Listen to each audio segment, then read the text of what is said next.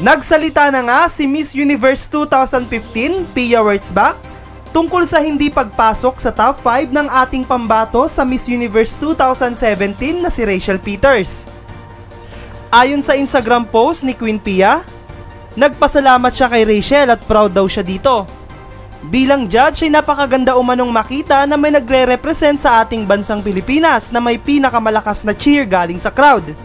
Pinayuhan din niya si Rachel na magpakatatag. Nag-reply naman sa post na ito si Rachel at nag-thank you din kay Pia. Sobrang dami ang natuwa sa naging mensahe ni Pia kay Rachel pero tila ba may mga nagbibigay ng issue sa pagiging judge ni Pia ng gabing yon.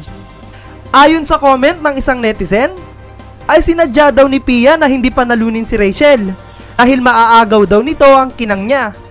Sinabihan niya pa si Pia na walang karir dito sa Pilipinas at hindi na daw nito inaasikaso ang advocacy niyang HIV awareness. Ganon din naman ang sinabi ng isa pang netizen. Don't worry Pia, I understand you. Kaya mo nilaglag si Rachel kasi natatakot ka malamangan ni Rachel? Sa nakikita ko kay Pia parang may attitude problem. Masyadong pa-famous, nanalo lang ng Miss U ay ayaw nang malamangan siya ng ibang kapwa niya Pinay Beauty Queen. Gusto niya kasi siya lang famous na beauty queen dito sa Pinas. Pia, karma is real. Ang mga basher na ito ay tila ba sinisisi si Queen Pia sa pagkatalo ni Rachel.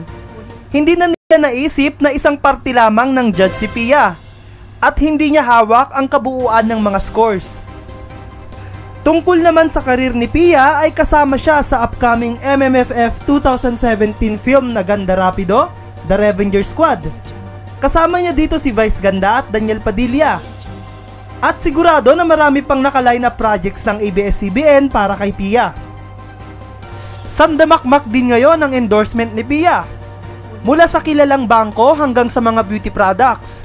Sa katunayan, kinilala ng The Manila Times si Pia Wurtzbach bilang isa sa pinakamaraming endorsement sa buong Asia.